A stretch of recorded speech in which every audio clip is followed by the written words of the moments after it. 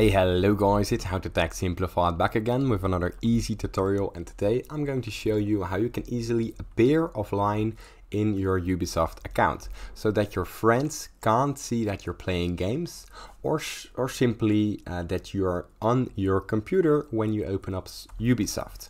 Now it's very easy tutorial so let's get straight into it. The first thing that you want to do is of course open up Ubisoft Connect. Now this is the Ubisoft launcher as you can see right here Ubisoft Connect. Now if you don't have it first download it and from there log into your existing account.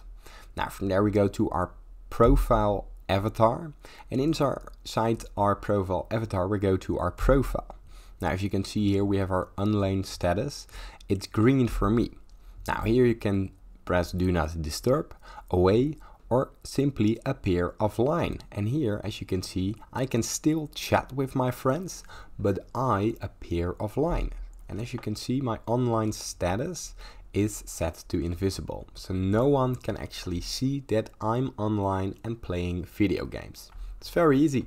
Now if this tutorial was helpful, please consider subscribing to my YouTube channel. It helps me out a lot and thanks for watching.